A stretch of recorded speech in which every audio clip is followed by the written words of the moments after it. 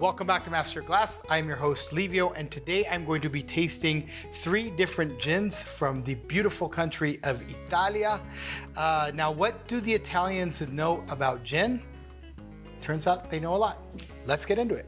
As I mentioned here in the intro, the history of gin in Italy is quite fascinating, quite rich, um, and also rich of amnesia and forgetting that we even made gin in Italy. Fascinating story. As a matter of fact, there's so much info here that I'm going to have to read it off a little bit for uh, to you as I kind of explain. I'm excited to let you know that we have launched a spirits course on masteryourglass.com. While you're there, you can also find this t-shirt in the shop. You can find the Cocktail Clarity cocktail book. You can also find some free resources such as flashcards. Just go to masteryourglass.com and the course is already heavily discounted, but if you enter the code MYG Spirits, it'll get discounted even more.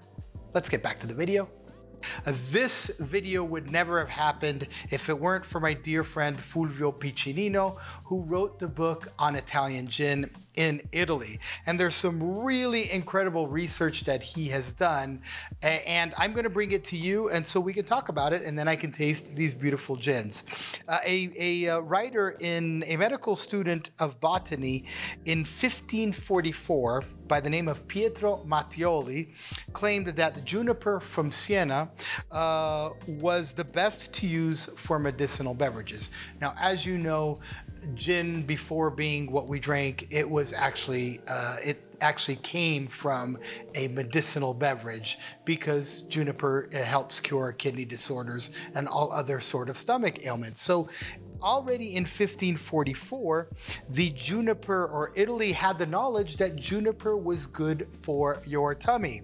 Uh, next, if I if I read here in 1679, in a book by Francesco Sirena uh, called L'arte dello speziale, uh, he explains how the addition of a new expensive ingredient called sugar is turning hard to drink medicines into potable beverages. So we know that before it was a medicine.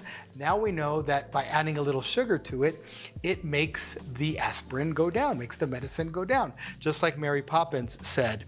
So this is a really good connection on the historical uh, uh, connection. Now, in this book, there were over 1,200 different recipes of uh, made with uh, made with herbs and spices. But one of the interesting one was one called Acqua Balsamica del Napolitano.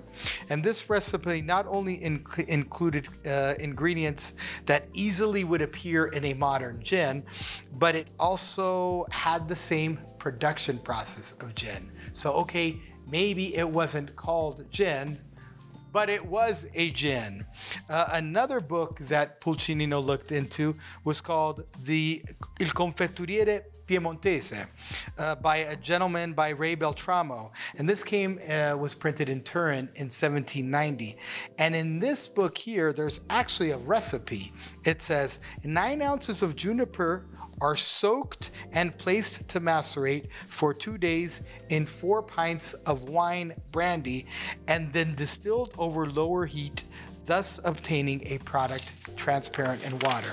If you're not familiar, that is exactly how gin was made, and this was from the 1790s. Now, interestingly, what happened in Italy is right at about the 19th century, when liqueurs became more and more popular, Italy realized that it was exporting a lot more of liqueurs. It was, it liked making more liqueurs and that perhaps gin was not worth using their stills for.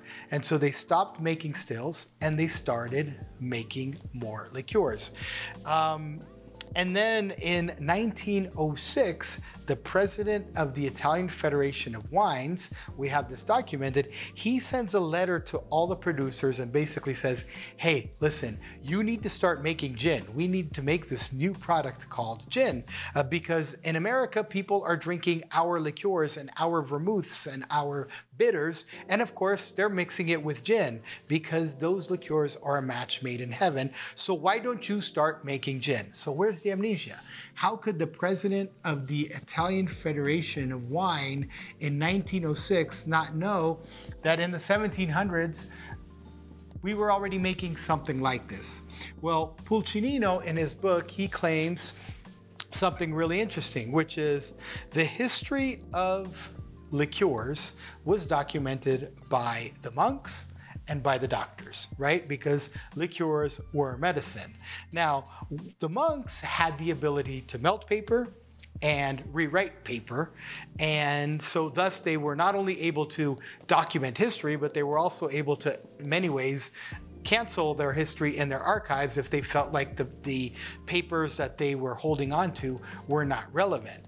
On the flip, but they kept archives. On the flip side of that, when a doctor who was studying medicine, putting together juniper paste beverages of sorts, um, when that doctor passed away, basically the studio was thrown away. So with that went all that history, hence why possibly there was the amnesia of us not even knowing that we are a country rich in gin production.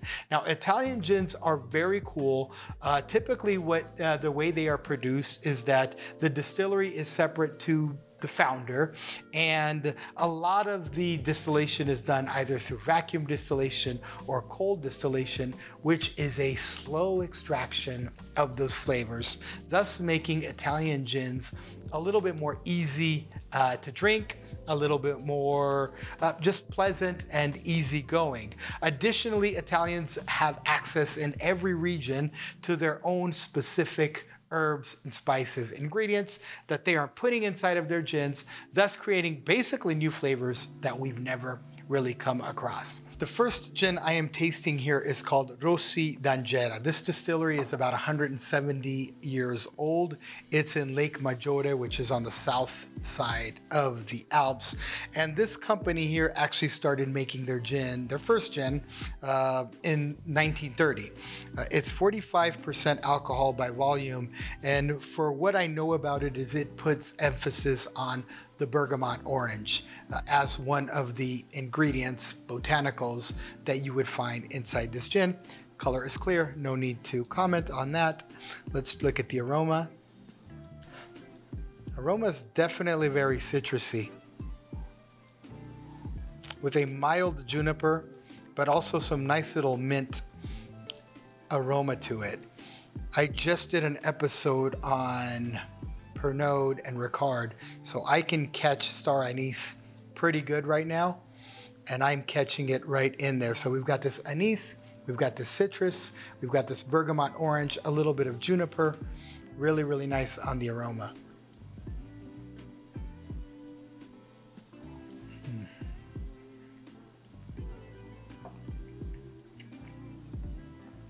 Flavor is also really nice.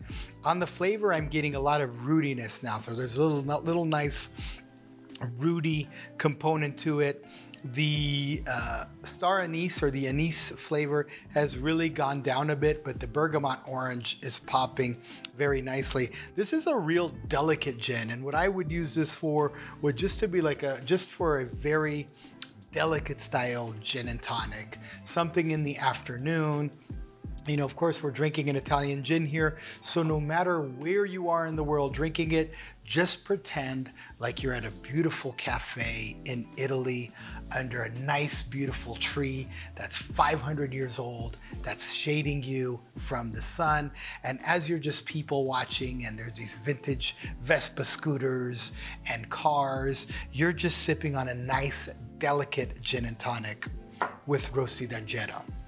Um, romanticism aside, a very easy uh, gin, uh, easygoing gin, but highly aromatic. Portofino gin here not only carries the name of Portofino, the beautiful uh, maritime area uh, in Liguria, which is kind of the groin of the Italian leg, uh, it also contains some ingredients from it. These ingredients are sunbathed in the beautiful hills, and they also uh, take advantage of the nice little sea uh, briny uh, winds to it. Portofino is made in Piedmont, but it's inspired by um, the Portofino area. And what it is, is it's a gin with 21 different botanicals in it. Uh, some of them are your usual suspects, such as the juniper, uh, the lemon, uh, the, uh, the marjoram, uh, and, and all of those. But they also add a few ingredients from actually the Portofino Hills. So I'm excited to try this one. By the way, what an incredible package, right? When you're drinking this, you're literally living the lifestyle of that beautiful maritime coastal area of Italy. This one here comes across a little bit more pungent on the nose with a big, rich, uh, lemony, citrusy aroma to it. The juniper is there, but it's kind of on the bottom, and the rootiness that I was getting from the Rossi d'Angera is way to the bottom. So this, uh, what I'm getting here is a lot more of a citrus forward aroma to it.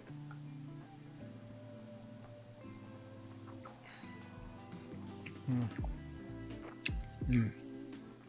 Yeah, this gin is definitely more rich. On the palate, it's more floral. I'm getting rose petals a lot of rose petals. I'm also getting um, again, a little bit of that anise, but this time, uh, let's scratch that. Actually, more of a rosemary. So I'm getting a rose petal and rosemary juniper citrus influenced gin. Still very delicate though. It's funny how it can come out with a burst of flavors, but there's but it stays very calm, cool, and collected. A very interesting gin here. This is coming in at 43% alcohol by volume, which is 86 proof. Um, I don't, uh, I don't, um, I wouldn't do the gin and tonic with this one here. I would perhaps do a very cool cocktail. I'll put the description below, uh, which is called the bicicletta, also known as the aragosta in uh, Sardinia. But it is basically one ounce of gin, two ounces of Campari, three ounces of local dry white wine over ice, add an orange, because in this case here, uh, that nice little uh, rosemary and rose petal flavor, I feel are really gonna sit on top of that Campari and give me some yummy and delicious flavors. Next, what I have here is Poli Marconi 42. A 42 comes from the fact that it is 42 percent alcohol by volume. Now, if you don't know Poli, then you probably don't know Grappa because Poli is a producer of incredible world-class grappas, and I'm pretty interested in trying the gin as well. Uh, now, uh, Mar uh, Poli Marconi 42 is actually distilled with a still called Chrysopea, and this is a vacuum still which uses a bain-marie uh, heating process. Bain-marie basically means that you're heating a water source that is then heating the still, which is just a little bit more delicate, or I should say a lot more delicate. Um, the botanicals that are chosen in this gin are meant to complement the juniper, so to play kind of in a way that the juniper gets to play its role without too much of it being covered. But let's see what this is all about. Oh, wow. Wow, very, what an incredible aroma. Very powerful, but nice. I'm getting like some balmy uh, aroma, a lot of perfume, a lot of floral, just a very, very nice, very pleasant, but rich um, aroma to it. Oh gosh. A little touch of rootiness, but yeah, just balmy, very, very balmy in its in its uh, aroma and a lot of perfume here, a lot of floral perfume. Wow, wow, oh wow, incredible. So the taste um, still recalls this lemon balmy flavor to it, but cranked up a notch, and it's very nice. So I have this lemon balm, that's probably here.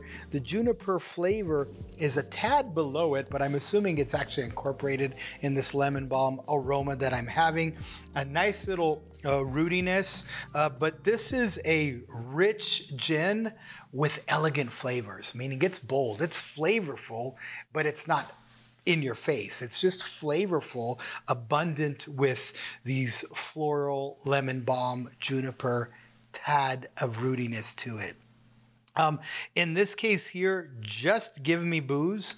I'm thinking that because I want some brine right now, that I would love to do a Gibson Martini. So give me those onions and give me that crunch to it and just add some brine to this gin. So let's go with a Gibson for this uh, uh, gin right here, which I found to be super incredible. Now I will leave just some suggested recipes in the description below.